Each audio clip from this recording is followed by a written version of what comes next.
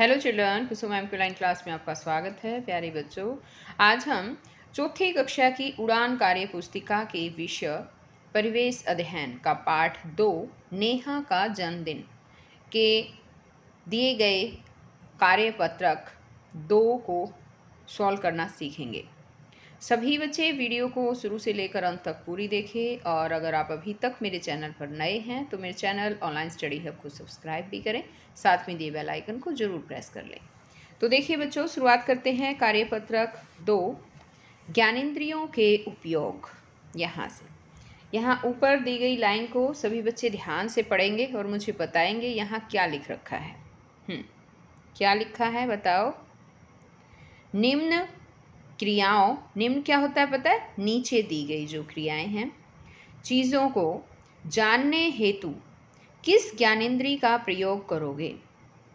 उचित विकल्प का चयन करके निशान लगाओ। आप एक से अधिक ज्ञानेंद्री का भी चयन कर सकते हैं। तो अब देखो बच्चों, यहाँ पर देखो। ये दे रखा है आम मीठा है और यहाँ पर दूसरी साइड ज्ञानेंद्रियाँ दे रखी है। तो आम मीठा है, हमें कौन सी ज्ञानेंद्री से पता चलता है? आपको ज्ञानेंद्रियों का पता है बच्चों? ज्ञानेंद्रियाँ क्या होती है, कितनी होती है? हम्म? तो सबसे पहले तो ये जानिए, ज्ञानेंद्रियाँ जो है वो पाँच होती हैं और इन ज्ञानेंद्रियों के माध्यम से ही हमें पता चलता है कि कोई चीज़ मीठी है, जैसे कि ये ज्ञानेंद्री जीभ है, जीभ हमें बताएगी कि कोई चीज़ मीठी है, कड़वी है, खट्टी है, कैसी है, ठीक है? इसी तरह से एक बार पहले सुनो, पाँच ज्ञानेंद्रियों के नाम बता देती हूँ मैं। आँखें हैं, जीभ है, त्वचा, कान, नाक, ये पाँच हमारी ज्ञानेंद्रियाँ हैं। आँखें हैं जो हमें, जिनसे देख सकते हैं हम दिखाई देता है जिनसे हमें जीभ है, उससे हमें स्वाद का पता चलता है। त्वचा है, इससे हमें ठंडे गर्म का पता चलता है। और जैसे हमारी नाक है, उससे हम किसी खुशबू आ रही है, दुर्गंध है, यानी कि सुगंध का और दुर्गंध का पता चलता है। कान है, वो हमारी हेल्प, सुनने में हेल्प करते हैं। हम आवाज़ें जो है वो सुन सकते हैं। तो ये पाँच ज्ञानेंद्रियाँ हैं बच्चों। ये ज्ञानेंद्रियों के नाम जो है ज्ञानेंद्रियों के नाम आपको याद भी होने चाहिए। कौन कौन से हैं? बताइए। आँख, नाक, कान, जीभ, त्वचा। इस तरह से इनको पाँचों को आप याद रख सकते हैं। तो यहाँ आम मीठा है। तो मीठा किससे पता चल रहा है हमें? ऑप्शन दे रखे हैं आँखें, जीभ, त्वचा। किससे पता चलेगा बताओ? जीभ से पता चलेगा। है ना? तो यहाँ पर हमारा जो सही है, उस पर हमें निशान लगाना है, ऐसे आपको निशान लगा देना है जीप अब आगे है, पत्थर सख्त है। पत्थर सख्त है, ये किससे पता चलेगा? तो बच्चा दे रखा है आँखें और कान। किससे पता चलेगा? सख्त है, ये हमें छूने से पता चलेगा, है ना? तो ये त्वचा में आ जाएगा बच्चों। हाथ लगाकर हम देखेंगे, कोई चीज़ सख्त है, वो हमें पता चल जाएगी। अब आगे है, चमेली की खुशबू अच्छी है। इसमें ऑप्शन दे रखे हैं, नाक, कान और जीभ। खुशबू का पता किससे चलता है हमें? अपनी नाक से, है ना? तो इस पर हम निशान लगा देंगे। अब इसी तरह से आगे दे रखा है, इंद्रधनुष के सात रंग है। अब इंद्रधनुष के सात रंग है। ये हमें किससे पता चलता है, बताओ? हम्म। कैसे पता चला? कान से, आँख से या जीभ से? ये हमें पता चलेगा। बताओ बताओ। हाँ आँखों से। वेरी गुड तो अब हम आँख जो है ना, उस पर निशान लगा देंगे। ये आँखों से पता चलेगा। अब आगे है, संगीत मधुर है। मधुर संगीत का किससे पता चलेगा? त्वचा से, जीभ से या कान से? कानों से। हमारे कान जो है वो सुनते हैं। तो संगीत मधुर है, ये कानों से पता चलेगा। मोबाइल की रिंगटोन ऊँची है, ये किससे पता चलेगा बताओ? कानों से। तो यहाँ पर कान पर निशान लगा देना है।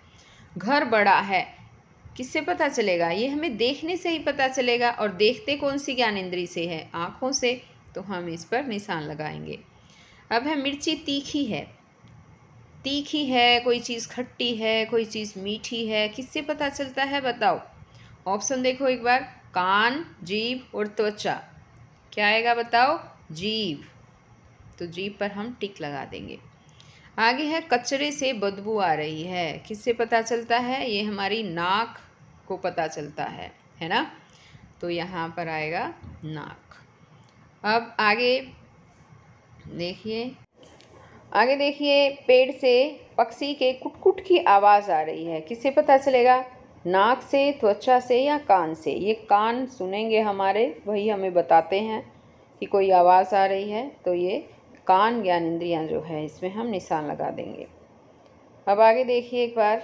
आगे है सेकंड क्वेश्चन दे रखा है। तालिका में दी गई वस्तुओं को पहचानने व महसूस करने के लिए आप किस किस ज्ञान इंद्री का उपयोग कर सकते हो? दिए गए स्थान में लिखो एक से अधिक विकल्प भी लिख सकते हो। तो अब देखो बच्चों, यहाँ वस्तु का नाम दे रखा है, कर्म संख्या है, फिर वस्तु का नाम है, फिर ज्ञान इंद्रियाँ गुलाब का फूल है अब जैसे। गुलाब का फूल किस ज्ञान इंद्री से हमें पता चलता है बताओ? सुगंध आती है उसमें। कौन सी ज्ञान इंद्री बताएगी हमें? ये नाक जो है हमारी ज्ञान इंद्री बताएगी। नाक आएगा इसमें। गले सड़े फल। ये कौन सी ज्ञान इंद्री बताती है? ये भी नाक जो है वही हमें बताएगी कि फल गले सड़े हैं। गरम तवा। अब तवा गरम है। इसका कैसे पता चलेगा बताओ? इसका तवच्चा बताएगी हमें। जब हम उसको छुएँगे ना तो पता चलता है कि गर्म है या ठंडा है। सर्दी का मौसम है। ये भी त्वचा ही बताती है।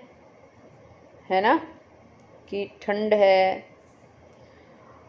पुदीने की पत्तियाँ, पुदीने की पत्तियाँ बताओ कौन सी ज्ञानेंद्री जो है, किस ज्ञानेंद्री का उपयोग करेंगे हम?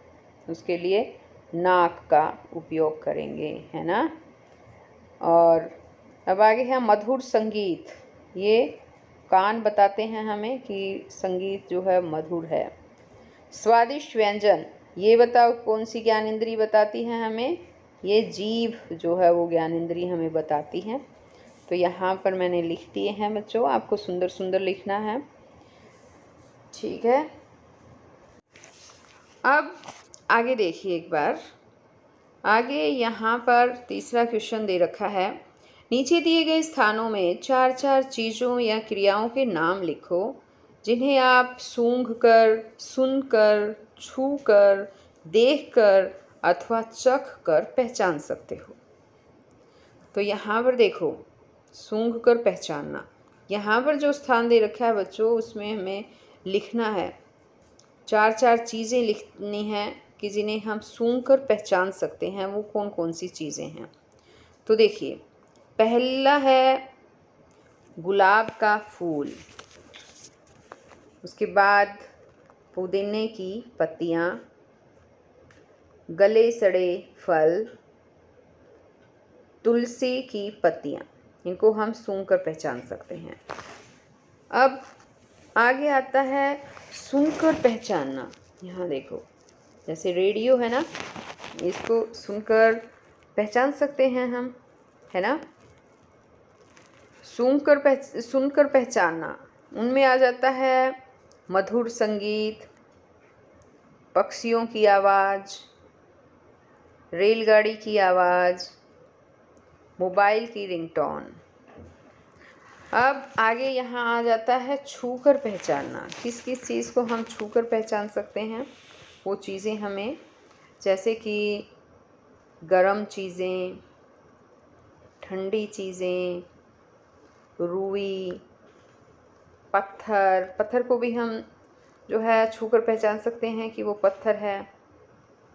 गोल चीज़ कोई, उसको हम छू कर गोल का पता चल जाता है कि ये गोल है है ना? अब जैसे गर्म चीज़ें और ठंडी चीज़ें मैंने बोली है तो गर्म चीज़ में जैसे कि चाय आ जाती है, हम उसके छू कर बता सकते हैं कि ये गर्म है। आइसक्रीम है, कुल्फ़ी है, ये ठंडी है, ठंडा पानी है छू कर हमें पता चल जाता है है ना? अब आगे आ जाता है देख कर पहचानना कि हम किन किन चीज़ों को देख कर पहचान सकते हैं।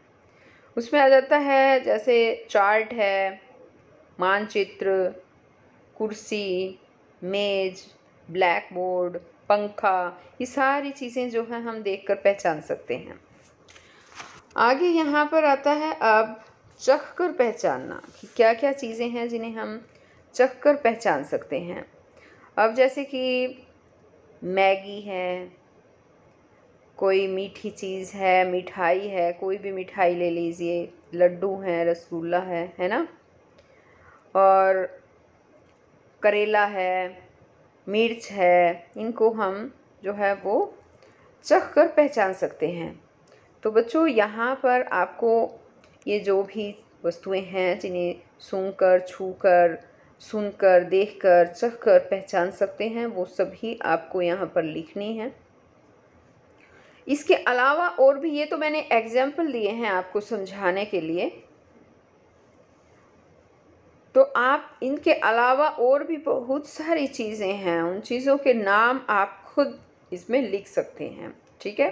तो हम फिर मिलते हैं नेक्स्ट वीडियो में, अगले कार्यपत्रक के साथ, तब तक के लिए बाय बच्चों।